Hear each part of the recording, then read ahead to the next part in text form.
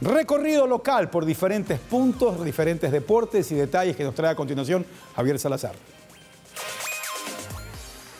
El béisbol infantil y juvenil se acentúa y se expande en la ciudad de Guayaquil con la realización de la edición 45 de la temporada oficial que está desarrollando la Liga Miraflores. Son 60 equipos, 7 equipos más que el año pasado. Son casi mil jugadores que tenemos en las canchas. Si haces un paneo, están absolutamente llenos todos los diamantes. Con motivo de homenajear la perla del Pacífico, el Cuerpo de Infantería de Marina llevará a cabo el 28 de octubre una competencia atlética de 5 y 12K, denominada Augusto Saltos Combatiente Frontera Norte, y han confirmado la participación de 2.500 deportistas.